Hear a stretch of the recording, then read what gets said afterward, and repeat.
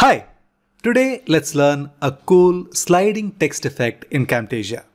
The effect goes like this, the video plays and somewhere in the right time a slider comes in, text is displayed and once the explanation is made, the slider goes away along with the text. This is how the effect looks under the hood inside Camtasia. First we have this video track. I have silenced the audio so you can observe the effect as I move forward, somewhere over here, you can see that we have this slider coming in. The key thing to note here is as the rectangular slider slides into the scene, I move to the side so that I give enough space for the slider to display. And then we have the text fading in and after a while the text fades out and then the slider goes back and I come to position. It's a neat little trick you can see how the whole thing plays. I am in the center, now I am onto the side, we have the text on one side and once everything is done, the text goes back and I am in the center. Now let us see how to do this from scratch. I'm Ram Gopal from ArteRamgopal.com. We help you build your audience on YouTube and monetize your expertise. If you are new to this channel, please consider subscribing to this channel. Let me remove all the other elements which we don't really require and I am also going to remove all the custom animations that I've added. I only have this simple video track of mine. The first thing we need to do is to create the graphic of the slider. As always, we use PowerPoint.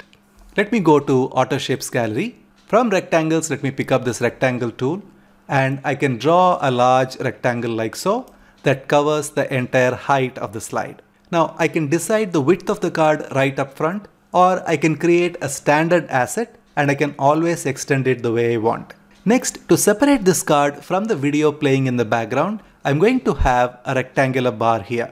So let us go to home again, pick up the rectangle tool and draw a bar like so. Now we need to choose the colors for these elements. To ensure that there is consistency in branding, I'm going to insert my logo here and pick up the colors from the logo to color these elements. First, let me pick up this card and it needs to be in this color. So let us go to shape fill, go to eyedropper and click on that color. And now we have the right color here. For this, I'm going to use white color. So let us select this, go to shape fill and go to eyedropper and use the same white color that is in the logo. We don't really require any outline for these. So I'm going to select both these elements, go to shape outline and say no outline. We don't really require this element anymore. So I'm going to delete this. Now let me group both of these by pressing Ctrl G after selecting them. Then let me add some shadow. So let me right click, go to format shape, go to effects and then go to shadow and I'm going to use one of the presets. The one I'm going to use is offset right. So this is the shadow here. It is a bit subtle to my liking. So I'm going to increase the size ever so slightly, say 101% instead of 100%. Now uh, that looks good. If I want it darker, I can always reduce the transparency so the shadow is clearly visible. Now this element can be saved as a picture. So let us right click on the group, go to save as picture and then give it a name. I've already saved this as slider placeholder. You can give whatever name you choose and you can see that the save as type is portable network graphics which is PNG. Once you hit save, that asset would be saved in whichever folder you chose. A good habit to develop right from the start is to have a separate folder where you would have all the video assets stored so you can always pick them up whenever you want. I've got a separate folder called video assets and these are PPT graphics so that is where this particular asset would go. Now once you've got that asset saved, you can go to media, right click and go to import media Choose the specific folder where you have saved that asset. Here is the right asset. I can always click on open and that would import that specific asset here in the media bin. Excellent. Now I'm going to drag this onto track 2 so that I have my slider in place. So this is the slider. I can always adjust the duration of the slider. Let us have this extended till this point. Now that looks good. Now here is the trick. Now you can see that we have the slider right in the center. We don't want it that way obviously. We want the slider outside the scene and at the appropriate moment it slides into the scene. So that is what we want. So let us go to the starting position, then go to view and have it reduced to 25% and have this placed to the side. So at the beginning, we have this outside the scene. Now to ensure that the entire vertical height is covered properly, I'm just going to play a bit safe. So I'm going to extend the height like so and then place it like this so that when this slides in, no part of the video shows in the background. Now that looks good. Now we have made sure that this card aligns with the left edge of the video. Now at this point along the timeline, I'm going to select this card, which is in track 2, hold the shift button down and select the video as well. And then I'm going to apply custom animation. So let us go to animations, go to animations tab, go to custom animation, click and drag it and you can place it over here like so. Since I have selected both the tracks as a click and drag custom animation, the animation event is placed exactly in the same spot on both the tracks. Now we need to define the after scenario which is shown by this red dot here. Now what happens in the after scenario?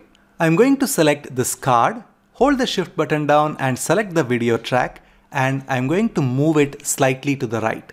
I can use my right arrow key. Can you see here? I am moving with my right arrow key and I can clearly see where the video frame ends and I want to make sure that I don't go away from the scene. I want to move it to the point where this edge here corresponds with the right edge of the scene. So I can move it even further and I'm using my right arrow key on the keyboard. Now this is an appropriate place. Now I want to have this move even inside. So I'm going to have this move such that the left edge of the card aligns with the left edge of the frame. Then we are going to move all the way to the right edge of this card piece here. And then we are going to use restore animation. Once again, I'm going to select this and hold the shift button down and select the video track underneath. And I'm going to click restore and then place the restore animation in such a way that whatever animation was done earlier is now restored back. Now the way it works is you can see that this is how the restore animation works. So we have our card slide in and slide out quite nicely while pushing a part of the video to the side and then getting it back to the original position.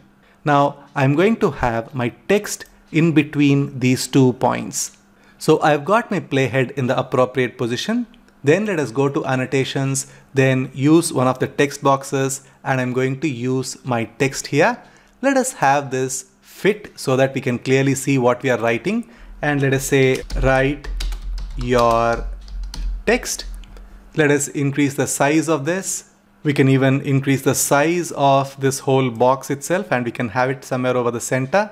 And we can extend the duration so that it corresponds with the starting point of the restore animation. Perfect. Now I want this text to fade in and fade out. So let us select this text and then go to transitions. And we're going to use a simple fade transition. So here is fade transition. Let me select that and leave it in the center so that we have fade in and fade out happen as far as the transition goes. Now, when I go here and play the clip, observe what happens. We have the video, slider comes in, the text shows, the explanation is according to whatever is being explained and then the text fades away and the slider goes out. So that is exactly how we create this text slide in effect or sliding text effect in Camtasia. So did you like the tip? If you did, then please give this video a like, share it with your friends and hit the subscribe button to encourage us to create more such videos. In the meantime, watch these other videos in our channel and encourage us. Thanks a lot for watching this video. I'll see you in the next one.